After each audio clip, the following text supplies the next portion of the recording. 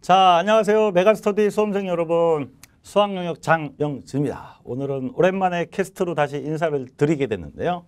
어, 보면 아시겠지만 육평 대위 어떻게 이렇게 타이틀을 잡아봤습니다. 육평 한 3주 남았네요. 그렇죠? 약간 긴장되시죠? 음, 그리고 약간 스트레스 좀 받으실 거야. 육평 이거 시- 현실 일정으로 다가오는데 잘하고 싶어. 잘하고 싶은데 사실 약간 잘할 수 있을지 불안해. 보통 스트레스는 어떤 욕망이 있고 욕구가 있는데 그게 잘 안 될 것 같은 그런 어떤 환경, 이런 느낌 이런 것 때문에 받는 거예요. 자, 선생님도 스트레스 엄청 받아요. 아, 여러분들하고 어떻게 강의를 잘 해가지고 여러분 수능, 수학을 어떻게 잘 치게 할까 엄청 고민하면서 항상 잘할 수 있다고 자신감이 팽배하지만 또 구체적으로 여러분들의 실정이 시험 일정이 다가고 나면 선생님들도 같이 스트레스를 받는답니다. 근데 뭐 그런 스트레스 잘 극복하고 그렇죠? 어, 무난하게 6월 평가원을 지나가는 것 이게 우리의 임무일 것 같고 자 어떻게 하는 것이 좋을까에 대한 간단한 조언을 드려보도록 하겠습니다. 자, 어, 6평 대비를 어떻게 라는 저 타이틀은요. 6월 평가원 시험을 잘 치기 위한 전략이라고 생각하지 마시고 6월 평가원 시험이라는 중요한 일정을 어떻게 지나갈 것인가에 대한 조언이라고 생각해 주세요. 자, 정말 6월 평가원은 중요한 시험이긴 한데 지나가는 시험이에요. 수능 시험 아니죠. 수능은 잘 쳐야 됩니다. 수능을 잘 치는 게 구체적인 목표여야 되고 정말 점수를 따기 위해서 막판에 찍기 위한 어떤 전략이 있을 수도 있어요. 근데 지금 6평은 그런 시험이 아니랍니다. 아시겠죠?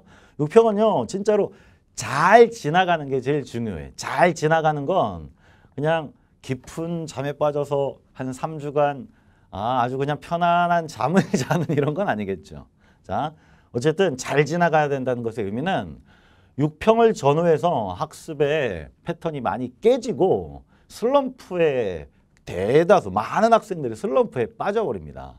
슬럼프에 빠지면서 이것저것 처리해야 될 일은 많고 우왕좌왕 이것저것 하다가 어느새 여름방학이 옵니다. 그러면 구평은 전범이고 수능이 코앞으로 다가오는 시기 얼마 안 남아서 정말 정신없이 한 해 시험을 마무리하게 되는 경우가 너무 많아. 정말 많아.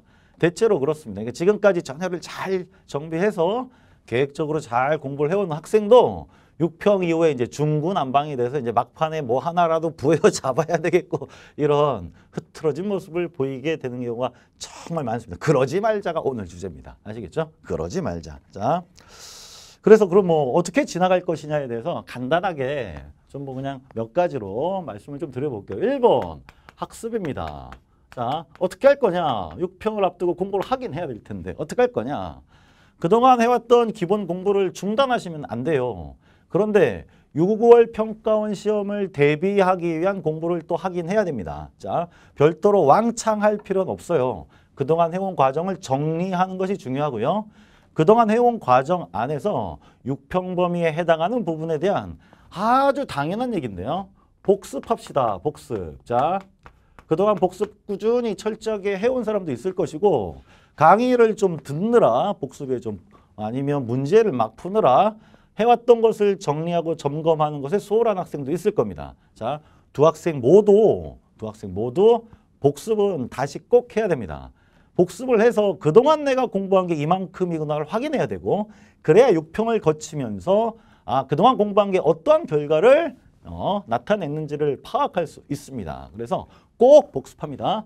복습은 뭐 특별한 거 할 필요 없어요. 상반기에 했던 공부 과정을 점검하고 어, 취약 단원이 발견되면 한번 개념 정리하시고 개념은 다 되어 있는데 문제가 좀 많이 틀린 단원이 있으면 거기 문제들은 다시 다 푸시고 어, 풀면서 공부하면서 얻었던 게 많았던 필기도 많이 하고 배운 게 많은 건 다시 한 번 더 공부하고 풀어보고 이런 과정이면 됩니다.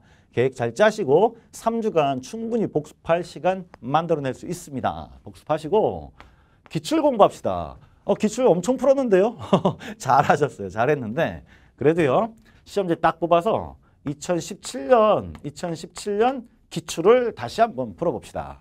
자, 첫 번째 수능이 제일 중요해요. 어, 수능은 범위가 좀 다른데요. 작년 6평 해야 되지 않을까요? 그러지 마시고 수능부터 하시고 6평 범위에만 한정해서 공부가 되어 있는 경우는 수능 전 범위 풀기가 좀 부담스러울 수 있는데 그때는 뭐뭐 범위 초과하는 건 좀 빼고 푸셔도 됩니다.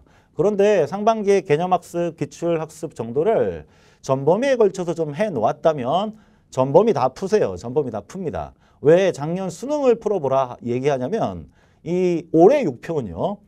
올해 수능을 어떻게 낼까 이런 고민을 하면서 출제하거든. 그래서 이제 아 올해 수능은 요런 기조로 요런 방향으로 요런 난이도로 내야 되겠다는 걸 대략 결정해서 출제하는데 작년 그게 반이고 작년 수험생들이 수능을 어떻게 쳤는데 올해 수험생들은 어느 정도 상태인지 그들에게도 이번 수능 응? 이번 수험생이 첫 만남이라고요. 그죠? 출제하는 선생님들이나 아니면 평가원의 입장에서도 올해 수능 칠 수험생들은 어떤 애들일까 되게 궁금하다고. 그래서 그곳에 굉장히 관심이 많고 작년 수능 문제 중에 중요한 문항을 상당 정도로 참고해서 재출제합니다. 그러니까 점수도 좀 높아질 수 있어요. 그러니까 작년 수능 문제 꼭 풀어봅니다. 시간 딱 재고 풀어보고 다시 한번 분석해보고 작년 9평이랑 6평 이런 순서대로 작년 기출 꼭 한번 시험지 형태로 뽑아서 풀어봅니다. 요 정도 학습이면 6평 대비 학습으로는 부족함 없어요. 충분합니다. 아시겠죠? 학습은 그렇게 하자. 아, 이거 하느라고 다른 거 해오던 거 다 중단하라는 얘기 아니에요. 충분히 할 수 있는 양이니까 3주면 시간 한 배에서 준비하시기 바랍니다. 의외의 좋은 결과 나와요. 21분이 풀린다니까. 작년 21번 혹은 작년 30분의 문제의식이 계승된 문제일 수 있어요. 자, 두 번째입니다. 학습은 그렇다 치고 그러면 시험을 딱 치고 나서는 어떻게 할 것이냐. 시험 현장에 가서 뭐 부들부들 떨지 마라. 이런 얘기는 지금은 하지 않겠습니다. 자, 고3인 경우에는 아마 전국 단위 시험으로서 뭐 학력평가, 교육청 모의고사를 쳐봤겠지만 의미 있는 전국적으로 재수생까지 합리하는 첫 시험일 거예요. 그러니까 긴장도가 좀 있을 텐데 그런 긴장감 한번 막 경험해 보십시오. 자, 중요한 건 그러고 나서 그러고 나서 이 평 이 시험에 대한 평가를 좀 하자 이런 건데요. 평가. 평가를 대체로 우리는 뭘로 할까요? 시험을 한번 치고 나면 평가 뭘로 해요? 당연히 점수로 하죠. 이건 어떻게 보면 당연한 거야. 아니, 내가 점수가 어? 목표 점수가 90이었는데 70점 나왔어. 이건 평가 하나만 아야 이런 느낌 들어요. 70 나올 리가 없죠, 사실. 자. 그런데 평가를 너무 점수에 국한시키면 좋지 않아요. 그 이면에 여러분이 해온 것이 굉장히 많이 다, 다양하게 구체적으로 있거든. 근데 그걸 점수만으로 파악하는 건 너무 안타까운 일이야. 뭐 내가 점수만으로 평가하고 싶지 않아도 주변에서 이미 다 점수로 평가해요. 야, 너 이번에 잘 쳤다며? 야, 너 이번에 엄청 잘했다며? 이런 거부터 야, 너는 수학에 뭐 그 정도 점수나 이럴 수도 있고 특히 여러분과 제일 가까운 부모님, 엄마, 아빠 점수만 딱 아시잖아요. 그죠? 공부 과정 잘 모르시고 그런데 상처도 많이 받습니다. 자, 그런데 점수에 너무 연연하지 마시고 점수에만 너무 매몰되지 마시고 진짜 해야 되는 건 복습하면서 여러분 상반기 공부 어떻게 했는지 한번 파악했죠? 그것이 시험에서 어떻게 드러나는지를 점검하는 거야. 그래서 어, 어느 정도 된 것 같았는데 막상 시험 쳐보니까 문제가 안 풀려. 이런 단어는 있다고, 그죠? 그것은 긴장도가 높아서 그랬을 수도 있지만 사실은 그 단원의 학습이 약간 피상적으로 되어 있을 수도 있어서 실제 시험에서는 점수로 귀결되지 않았을 가능성이 또 충분해요. 그런 걸 복귀하는 거야. 이 우리가 시험을 치고 나서 평가하는 과정에서는요. 꼭 한번 해보세요. 꼭 한번. 다음 날, 다음 날 아니면 그 주간에 주말까지 하시면 되는데 시험지를 다시 한번 뽑아가지고 6평 시험지 다시 공개되죠. 다시 한번 뽑아서 진짜 다시 한번 풀어보는 거야. 꼭 해보세요. 뭐 다른 전 과목 하면 좋겠는데 선생님은 수학 선생이니까 일단 선생님을 믿으시고 수학이라도 한번 해보세요. 시험지를 딱 다시 펼쳐놓고 차근차근 풀어가 봅니다. 느낌이 많이 다를 거예요. 실제 6평 시험 현장에서 풀었던 것과 느낌이 많이 달라요. 그때는 막 정신없이 풀었던 것이 차근차근 풀리면서 의미도 발견될 것이고 정신없이 풀다가 계산 실수한 건데 전혀 계산 실수할 만한 포인트가 아니었다는 사실을 느낄 수 있습니다. 그리고 어떤 문제는 진짜 뭐 그냥 막 풀어서 답까지 냈는데 다시 풀어보니까 굉장히 어려운 걸 어, 이거 굉장히 신경 써서 공부해야 될 부분이 많았는 걸 이런 걸 느낄 수도 있고요. 킬러 쳐다보지도 않았는데 다시 천천히 보니까 시간이 좀 남아서 차분하게 풀면 시간 남을 수 있잖아요. 그래서 다시 보니까 킬러도 읽히네. 이게 무슨 문제인지 알겠네. 이런 느낌을 잘 캐치해야 진짜 평가가 이루어질 수 있습니다. 그러니까 시험지 한번 꼭 다시 풀어보시고 꼭 다시 풀어보시고 평가를 합니다. 평가는요.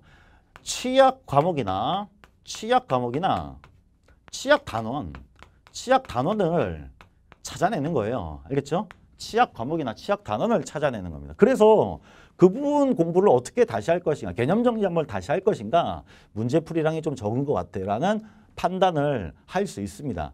그래야 그 다음 학습 계획이 또 잘 잡히지 않겠습니까? 그죠? 그러니까 꼭 약점 체크를 하시라 이런 얘기입니다. 근데 요새는 이제 단원별로만 보는 거는 조금 부족한 것 같고 시험이 올해도 분명히 그렇게 나올 텐데요. 아니면 이제 선생님이 긴급하게 캐스트를 또 찍겠습니다. 올해도 기본, 기본 한 60% 깔아주고, 그죠? 30%는 뭐예요? 30%는 준킬러, 준킬러, 그죠? 4점짜리인데 사실상 2, 3등급을 결정짓는 그런 문항이죠, 그죠? 준킬러, 거기에 킬러, 요 세 개. 요 세 가지 난이도별, 어, 저런 세 가지 난이도별 문제의 특징이 있죠. 그 문제들에 대한 본인의 적응력. 사실 저는 기본 문제는 다 푸는데 준킬러 하나도 안 돼 있네요. 이런 거 파악해내는 거야. 알겠죠? 그리고 킬러도 손도 하나도 안 됐었는데 풀만 하겠는 걸 준킬러까지는 잘돼 있는데 어 내가 킬러를 엄청나게 문제를 풀었는데 여전히 준킬러에서 싹싹싹 틀리네. 이런 구체적인 여러분들의 요 세 가지 난이도별 출제 형식에 대해 적응력이 어떻게 되는가를 꼭 점검해야 됩니다. 아시겠죠? 그래야 그래야 어 기본이 조금 더 다져줘야 되겠네. 아니면 준킬러 트레이닝을 좀 해야 되겠다. 야 이제 킬러를 좀 본격적으로 해야 되겠다라는 그런 방향성을 잡을 수 있습니다. 그래야 6평 이후에 흔들리지 않고 갈 수 있어요. 말이 나왔으니까 얘긴데 6평 치고 나면요. 진짜 많이들 흔들려요. 6평 치고 나면 본인이 이제 흔들린다고 생각 안 해. 왜냐하면 본인 일상을 살고 있고 누군가 옆에서 야 너 그러지 마 라고 정확하게 알려주지 않는 이상 결국 하는 할 일은 많고 해야 할 일은 뭐 또 켜켜이 쌓이는데 스트레스도 왕창 받았죠. 그러니까 마음이 진정이 잘 안 되는 상태로 해오던 공부 페이스가 많이 깨진다고요. 잘 치면 잘 치는 대로 못 치면 못 치는 대로 들뜨고 또 못 치면 못 치는 대로 실망하고 우울해지고 이런 과정을 어쨌든 빠르게 전환시켜야 돼요. 그러려면 반드시 필요합니다. 아시겠죠? 시작된 날 찾고 준 킬러, 킬러. 요거 하기 위해서 뭐 한다고요? 다시 한번 리플레이 해본다. 리플레이. 자, 리플레이. 다시 풀어본다. 해설 강의 플레이 어떻게 쓰죠? 자, 아이쿠 이렇게 쓰는군요. 리플레이. 해설 강의 하나 딱 듣고 아이쿠 저 문제에 대한 아주 기발한 풀이를 배웠다 이런 것보다 본인이 다시 한번 시험지를 펼쳐놓고 푸는 게 훨씬 좋습니다. 물론 선생님도 해설 강의 찍어요. 그리고 여러분들이 못 볼 만한 지점 알려주고 분석해 드립니다. 하지만 하지만 여러분들 시험지를 다시 한번 풀어본 리플레이 그걸 통해서 두 가지 체크를 하시는 것. 이 평가 과정을 꼭 밟읍시다. 그 전에 합시다. 6월 7일 목요일 날 시험 치면 시험 치면 8일, 9일, 10일이 금토일이잖아. 금토일까지. 그리고 대체로 아마 그 기간에 휴강 많이 할 걸요. 학원들. 자, 본인의 학습을 그 주간에는 그런 정도로 한번 마무리하는 것으로 하시기 바랍니다. 자, 세 번째입니다. 세 번째는 이제 계획이죠. 향후 학습 계획이 없으면요. 그 어쨌든 6평 치고 나서 많이들 망가져요 실제로. 폐인됩니다. 진짜인데. 난 미리 경고했어. 폐인 많이 돼요. 뭐 수능 이렇게 입시 좀 나이브해졌다고 폐인이라고까지 얘기하는 건 좀 과하지 않나요, 선생님? 뭐 과하다면 사과하겠습니다. 근데 안타까워서 안타까워서. 6평 이후에 진짜 많이 페이스가 깨져요. 그래서 이 계획은요, 사전에 좀 짜놔야 돼. 알겠지? 미리 좀 짜놓자. 어떻게 짜놓냐면 사람마다, 여러분들마다 다 달라. 나는 수시 비중이 높으니까 나는 기말고사에 더 빨리 들어가야 돼 하는 사람도 있고 어 자소서 뭐 미리 준비해야 되는 사람도 있어요. 6, 7월 아니 7, 8월 자소서 쓰느라고 바빠요.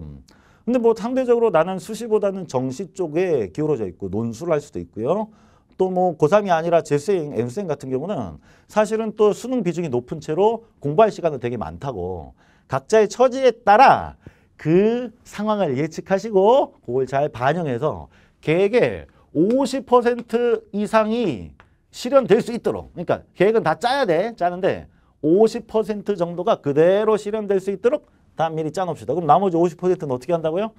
평가를 한 것을 바탕으로 해서 취약 단원이 생기거나 기본, 킬러, 중킬러 뭐 이런 문제들을 좀 하드한 트레이닝을 할 준비를 요때 추가 계획을 좀 짜시면 돼요. 그래서 50 더하기 50입니다. 뭐든 반반하면 공평해 보이고 안정감이 있잖아요. 그죠? 그러니까 사전 계획을 짜놓은 것을 한 50%를 지키도록 하시고 그리고 나머지 한 50%는 요 평가를 기준으로 해서 재점검해서 계획을 짜겠다 생각하십시오. 현재 그런 계획이 없으면 6평 이후에 막 정신없이 시간 흘러갑니다. 아시겠죠? 그러니까 계획을 꼭 짜놓고 계획된 대로 여름방학까지 진입합시다. 여름방학 되면 또 정신들 좀 차립니다. 이제 방학 되고 하니까 시간도 좀 생기고 뭐 부족한 거 좀 해야 되겠다는 생각이 드는데 그 기간까지가 굉장히 중요한 시간이에요. 알겠죠? 그래서 사전에 계획을 짜놓고 이렇게 운영해 나갈 준비를 하자. 마지막입니다. 마지막. 계획을 짜는 것에 그치면 안, 안 되고 이건 당부 혹은 협박 이런 거야. 당부이자 협박인데 꼭, 꼭 해내자. 뭘 해내자? 제발, please. 제발 해내자. 뭘 해내자? 뭐 6평 대비 모의고사 어? 이런 거 다운받아가지고 풀어내자? 아니면 6평 시험 점수 뭐 엄청 잘 받자? 이런 거 해내자는 게 아니라 뭘 해내자? 계획한 대로 합시다. 이 계획에는 구체적인 일정이 들어가야 돼요. 이를테면 내가 평가도 하고 점검하고 하는데 6, 7, 7월 7일 날 시험을 치니까 8, 9, 10 이런 정도 3일을 하려면 내가 6월 6월 10일부터 8, 9, 10, 11일부터 월요일이라고 할까요? 꼭 월요일 날 하라는 건 아닙니다.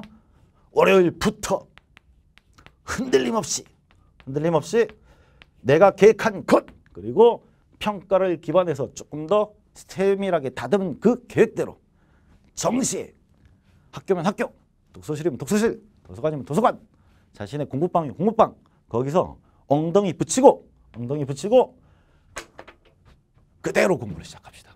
이게 제일 어려워요. 이게 제일 어려워. 안 돼 사실. 정말 너무 힘든 사람이 있어요. 너무 시험 결과가 안 좋아서 선생님이 하라는 대로 뭐 분석도 하고 평가도 했는데 막상 책상 위에 앉아보니까 공부가 뭐 시험도 안 쳤는데 자꾸 시험 이후에 여러분들에 대해서 얘기를 하는 것 같아서 미안한데 6평은 그런 시험이에요. 이걸 해내자. 알겠지? 해내자. 그래서 엉덩이 붙이고 앉아 있잖아요. 괴롭더라도 버티세요.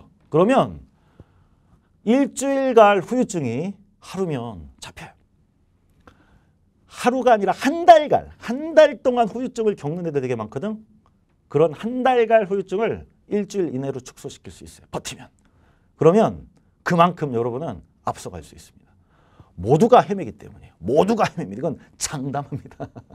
아시겠죠? 그렇게 해서 날짜 딱 정해서 계획짠 대로 다시 공부합시다.